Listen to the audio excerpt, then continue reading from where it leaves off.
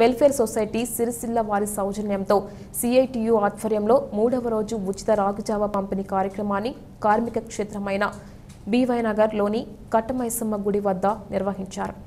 CITU జిల్లా నాయకులు మోరా అజయ్ అన్లర్దాస్ గణేష్ మాట్లాడుతూ ప్రస్తుతం కరోనా వలన అనేక ఇబ్బందులు ఎదుర్కొంటున్న కార్మిక వర్గ ప్రజలకు తమ వంతు సహకారం అందించాలనే ఉద్దేశంతోని రోగనిరోధక శక్తిని పెంపొందించే పౌష్టిక ఆహారం అయినటువంటి రాగి జావను ఉచితంగా పంపిణీ చేస్తున్న వెల్ఫేర్ సొసైటీ అధ్యక్షులు శాంతి ప్రకాష్ శుక్లా గారికి సిఐటియు పక్షాన బీవై నగర్ కార్మిక వర్గ ప్రజల పక్షాన ధన్యవాదాలు తెలిపారు.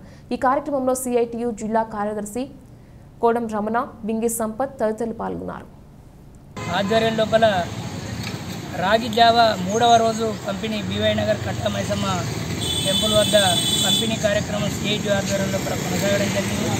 మరి ఈ కరోనా సమయం లోపల ప్రజలకు మంచి పౌష్టికాహారం అందజేయాలనేటువంటి నేపథ్యం లోపల మరి రాగి జావ అనేటువంటిది పంపిణీ చేసినందుకు వెల్ఫేర్ సొసైటీ సిరిసిల్ల వారికి సిఐటి జిల్లా కమిటీ పక్షాన హృదయపూర్వకమైనటువంటి ధన్యవాదాలు తెలియజేస్తూ ఉన్నాం.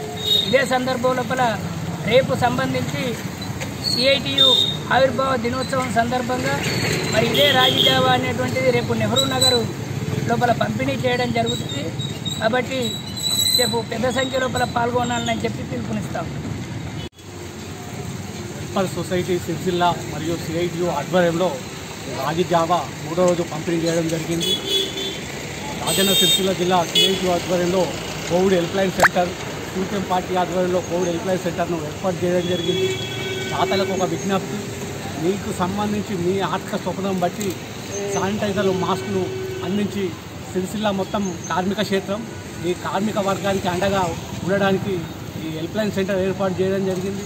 కొంతమంది దాతల ముందుకొచ్చి శానిటైజర్లు మాస్కులు అందివ్వడం జరిగింది. వారి వివరాలు కూడా ఎప్పటికప్పుడు సోషల్ మీడియాలో అప్డేట్ చేయడం జరుగుతోంది. దయచేసి ఇంకా దాతలు ఎవరైనా ఉంటే ముందుకు వచ్చి సహాయానికి అధ్యయాల్సిందిగా కోరుతున్నాను.